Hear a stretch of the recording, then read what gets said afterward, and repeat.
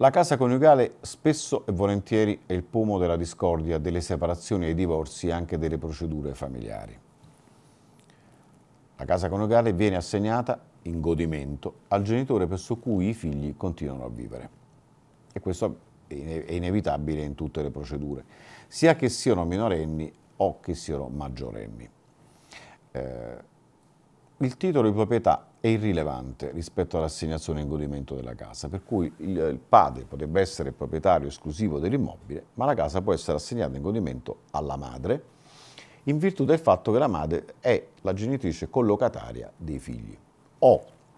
i figli maggiorenni continuano a convivere con la madre stessa, per cui è un provvedimento a favore dei figli più che a favore dell'altro coniuge. Ehm, e questo è un problema serio perché mi rendo conto che il, il, diritto di proprietà è un diritto costituzionalmente garantito, ma bisogna fare un bilanciamento tra il diritto di proprietà e il diritto dei figli ed è normale che prevalga il secondo.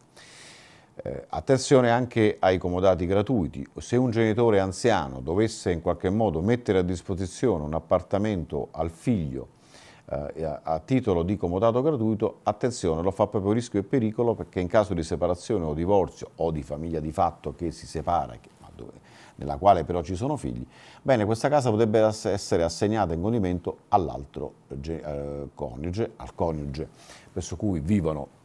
i figli e questa è stata un'altra ragione di grossi contrasti, di grossi scontri giurisprudenziali, di, di prese di posizione, perché è chiaro che eh, se magari eh, quel piccolo appartamento può rappresentare forse una delle poche fonti di reddito di una famiglia, è chiaro che quando viene assegnata ad, un, ad un'altra persona, che non è il figlio, questo può creare problemi eh, non solo economici, anche morali eh, piuttosto rilevanti. Ma questa è la legge. Questa è la legge. Questo avviene poi anche nelle coppie di fatto. Attenzione, la questione dell'assegnazione in godimento della casa non riguarda soltanto le persone legate ai matrimonio Oggi riguarda anche le coppie di fatto con figli, per cui anche se non si è sposati,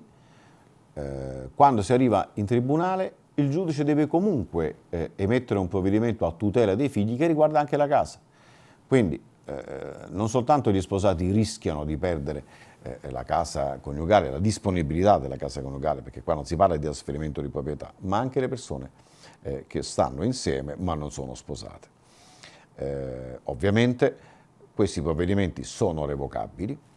Nel caso in cui i figli dovessero trovare una propria dimensione economica, un proprio lavoro con un contratto a tempo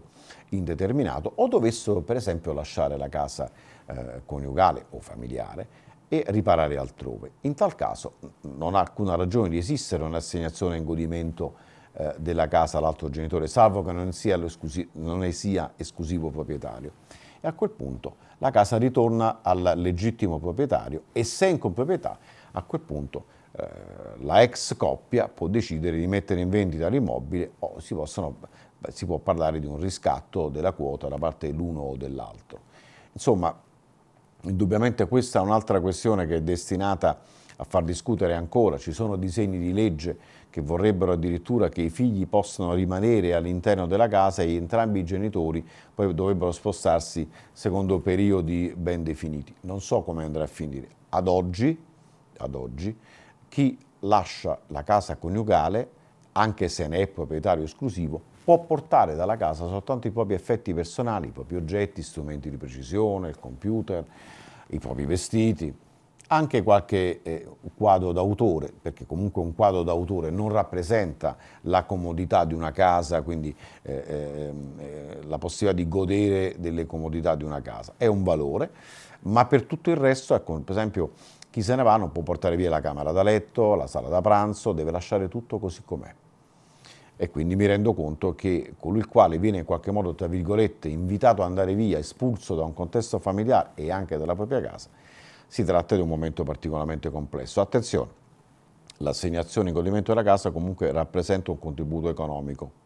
per cui il giudice in tema di quantificazione dell'assegno di mantenimento, sia per il coniuge più debole, se ne ha il diritto, eh, o, e, e, per i figli, deve, il giudice deve tenere conto appunto del valore economico di questa assegnazione per cui eh,